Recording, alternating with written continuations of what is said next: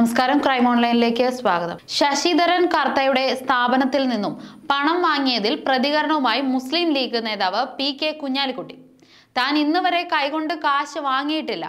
കൈകൊണ്ടെന്ന് മാത്രമേ പറയുന്നുള്ളൂ. അതിലും വിശുദ്ധിയോടെ ലോകത്താരും പാർട്ടി നടത്തുന്നില്ലെന്നും കുഞ്ഞാലിക്കുട്ടി വ്യക്തമാക്കി. പാർട്ടി സംഭാവന സ്വീകരിച്ചിട്ടുണ്ടെങ്കിൽ അതിന്റെ രസീതും കൊടുത്ത് കണക്കും വെച്ചിട്ടുണ്ടാകുമെന്ന് കുഞ്ഞാലിക്കുട്ടി പറഞ്ഞു. ബാർക്കോഴ കേസിന്റെ കാലത്ത് പോലും മേശപ്പുറത്ത് കാശ് കൊണ്ടുവന്ന് വെച്ചിട്ട് അദ്ദേഹം അത് വാങ്ങിയിട്ടില്ല എന്ന് പറയുന്ന സർട്ടിഫിക്കറ്റ് തനിക്കുണ്ടെന്നും മുസ്ലിം ലീഗ് നേതാവ് പറഞ്ഞു. കൊച്ചിൻ മിനറൽസ് ആൻഡ് റൂട്ടെയിൽ ലിമിറ്റഡിന്റെ ഉദ്യോഗസ്ഥർക്ക് ഉദ്യോഗസ്ഥരിൽ നിന്ന് പണം വാങ്ങിയവരുടെ പട്ടികയിൽ യു ഡി എഫ് നേതാക്കളും ഉൾപ്പെട്ടതുമായി ബന്ധപ്പെട്ടാണ് വാർത്താ സമ്മേളനത്തിൽ കുഞ്ഞാലിക്കുട്ടിയുടെ പ്രതികരണം. Pinarayi Vijayan Oommen Chandy Ramesh Chennithala P K Kunhalikutty V K Ibrahim Kunju തുടങ്ങിയ നേതാക്കൾക്ക് പണം നൽകിയതായി C M R L chief financial officer K S Suresh Kumar ആദായനികുതി വകുപ്പിന് മൊഴി നൽകിയിരുന്നു.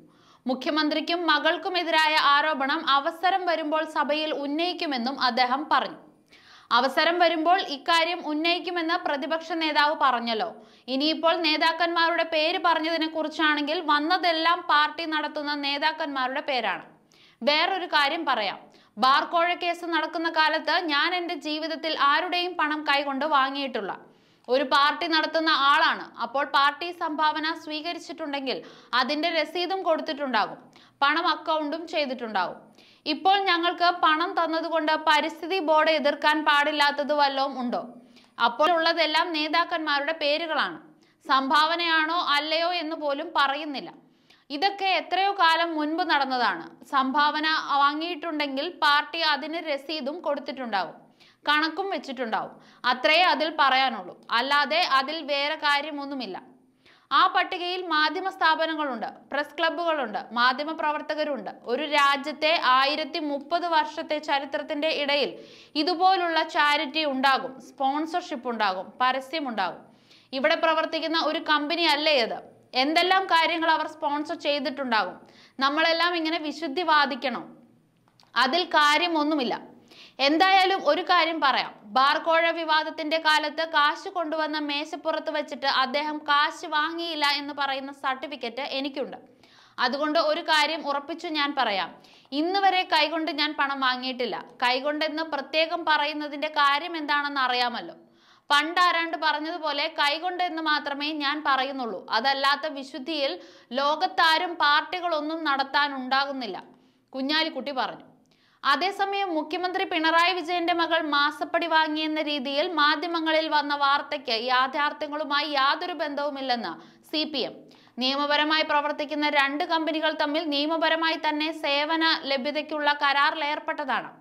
കരാറിലെ വ്യവസ്ഥകൾ പ്രകാരമാണ് പണം നൽകിയത്. ആ പണമാവട്ടെ വാർഷികാടിസ്ഥാനത്തിലുമാണ്. ഇതിന് വിശ്വാസത ലഭിക്കുന്നതിനാണ് മാസപ്പടിയാക്കി ചിത്രീകരിച്ചതെന്ന് സി പി എം വാർത്താക്കുറിപ്പിൽ പറഞ്ഞു. രണ്ട് കമ്പനികൾ തമ്മിൽ ഉണ്ടാക്കിയ കരാർ സുതാര്യമായ ഒന്നാണ്. അതിന്റെ അടിസ്ഥാനത്തിലുള്ള പണമിടപാടുകളെല്ലാം ബാങ്ക് മുഖേനയാണ് നടന്നിട്ടുള്ളത്. അങ്ങനെ നിയമാനുസൃതമായി രണ്ട് കമ്പനികൾ തമ്മിൽ നടത്തിയ ഇടപാടിനെയാണ് മാസപ്പടിയെന്ന് ചിത്രീകരിച്ചത്. സി എം ആർ എൽ എന്ന കമ്പനി ആദായ നികുതിയുമായി ബന്ധപ്പെട്ട തർക്കം പരിഹരിക്കുന്നതിനാണ് ഇൻട്രീം സെറ്റിൽമെന്റ് ബോർഡ് മുമ്പിലേക്ക് പോയത്. ഈ വിഷയത്തിൽ വീണയുടെ കമ്പനി കക്ഷിയെ അല്ല അവരുടെ ഭാഗം കേട്ടിട്ടുമില്ല. എന്നിട്ടും അവരെ ബന്ധിപ്പിക്കുന്നതിനുള്ള ഗൂഢാലോചനയാണ് പുതുപ്പള്ളി ഇലക്ഷൻ പ്രഖ്യാപിച്ച ഘട്ടത്തിൽ തന്നെ ഉണ്ടാക്കിയിട്ടുള്ളത്. രാഷ്ട്രീയ പ്രവർത്തകരുടെ മക്കൾക്ക് നിയമാനുസൃതമായ ഏത് തൊഴിലും ചെയ്യുന്നതിന് മറ്റെല്ലാ പൗരന്മാർക്കും എന്ന പോലെ അവകാശമുണ്ട്. അതിന്റെ അടിസ്ഥാനത്തിലാണ് വീണയും കൺസൾട്ടിംഗ് കമ്പനി ആരംഭിച്ചത്. അതിന്റെ പ്രവർത്തനങ്ങളെല്ലാം സുതാര്യവുമാണ്.